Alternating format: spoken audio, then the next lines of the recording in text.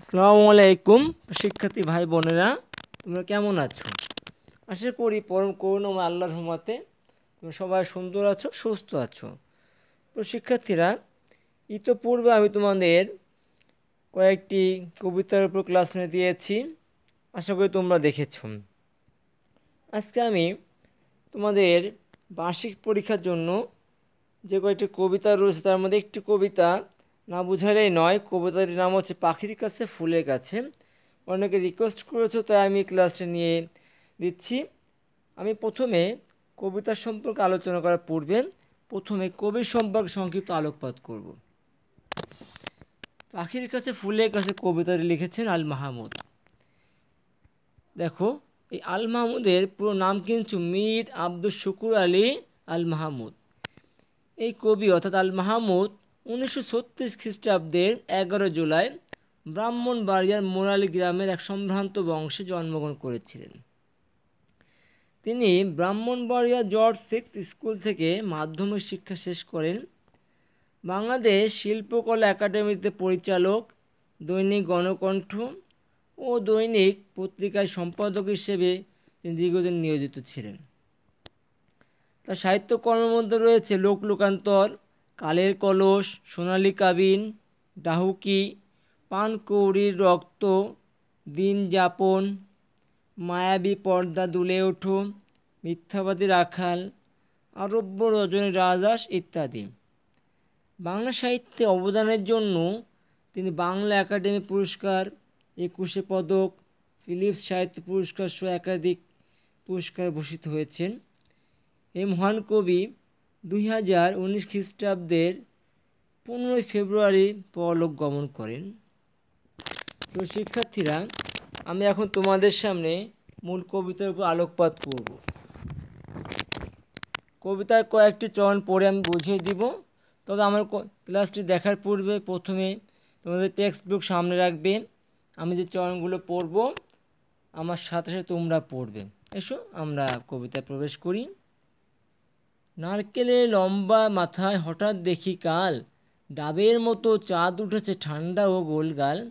ছিটকিনিটা আস্তে খুলে পেরিয়ে গেলাম ঘর। ঝিম ধরায় মস্ত শহর কাঁপছিল থর থর অর্থাৎ প্রকৃতির বিচিত্র সৌন্দর্য কবি মনকে আকর্ষণ করে এবং কবি প্রকৃতির এই সৌন্দর্যের সঙ্গে মিশে যেতে চান। রাতের বেলা নারকেলের গাছের মাথায় গোলাকার চাঁদ দেখে কবির ঘর থেকে বেরিয়ে পড়েন। গোলাকার রাতে চাঁদটিকে কবির কাছে ডাবের মতো গোলগাল ও ঠান্ডা বলে মনে হয়। দিনে সূর্য প্রখর তাপ দিয়ে তাপ দেয় আর রাতের চাঁদ সুশীতল আলো ছড়ায়। রাতের পুরো শহর কবির কাছে ঘুমে ঝিমিয়ে পড়া, ঝিমিয়ে আছে বলে মনে হয়। ঘুমের ঝিমুনিতে যেন পুরো শহর থরথর করে কাঁপছে। এরপর কবি বলছে, মিনারটাকে দেখছি যেন দাঁড়িয়ে আছেন কেউ। পাথর ঘাটার গির্জাটা কি লাল পাথরের ঢেউ।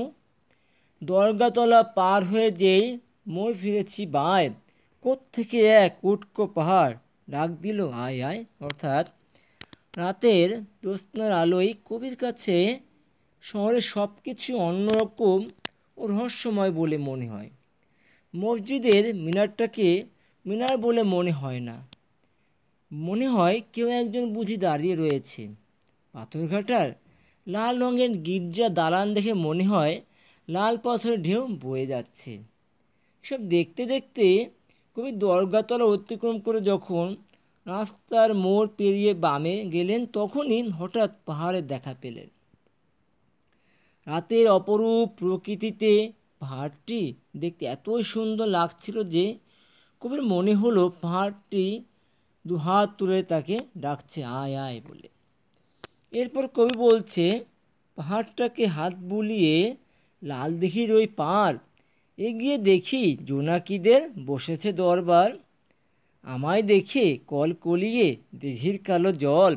বলল, এসো, আমরা সবাই না ঘুমানোর দল। অর্থাৎ রাতের মায়াময় পাহাড়ের হাতছানি অতিক্রম করে লেখক যেই লাল দিঘির পাড়ে গেলেন, তখন দেখলেন জোনাকিরা সেখানে সমবেত হয়ে সবাই মিলিত হয়েছে। রাতের আধারে দলে দলে আলো জ্বালিয়ে ঘুরতে থাকা জোনাকিদের দেখে মনে হলো তারা বুঝি সবাই বসে রয়েছে। লাল দিঘির কালো জল কবিকে রাত জাগার আমন্ত্রণ জানালো। তারা সবাই না ঘুমানোর দল, অর্থাৎ জেগেই তারা রাত পার করে দিবে। দিনের প্রকৃতি থেকে রাতের প্রকৃতি একেবারেই আলাদা।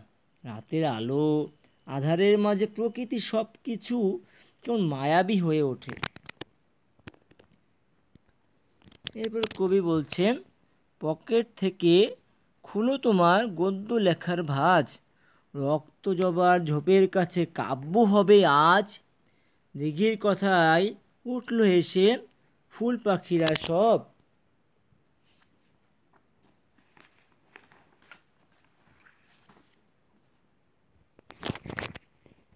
কাব্য হবে কাব্য হবে, জুড়ল কলরব।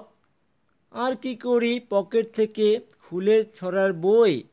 পাখির কাছে, ফুলের কাছে মনের কথা কই? অর্থাৎ প্রকৃতির বিচিত্র সৌন্দর্যের টানে কবি ঘুমাতে পারেনি। রাতের চাঁদ, মসজিদে মিনার, গির্জা, পাহাড় দিঘি কবিকে কাছে টেনে নেয়।